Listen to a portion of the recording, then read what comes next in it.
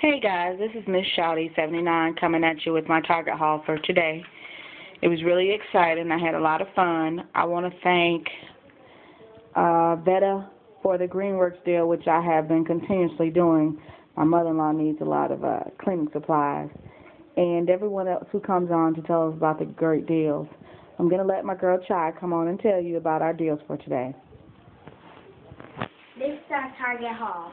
We got two of the Glades they are 97 cents with a $1 off coupon on Target's website, making them free.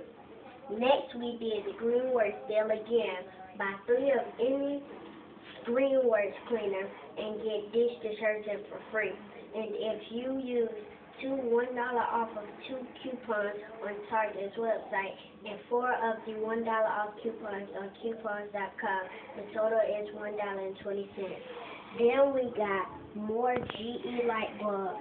They are clearance for $1.78 and Target has a coupon online for $2 off making them free with overage. Finally, we got the Method hand soap which is on clearance for $2.08. Target has a $1 off coupon and Method Has a $1 off coupon, making them $8 a piece.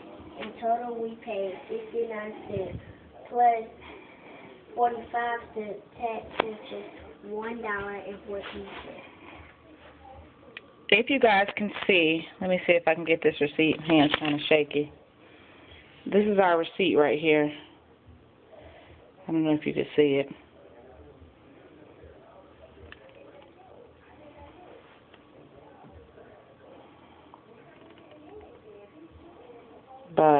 Total we paid a dollar and fourteen cents. Sorry guys. no, I'm kind of new at this. Um, and I was happy because in total we saved thirty six dollars and twenty three cents today.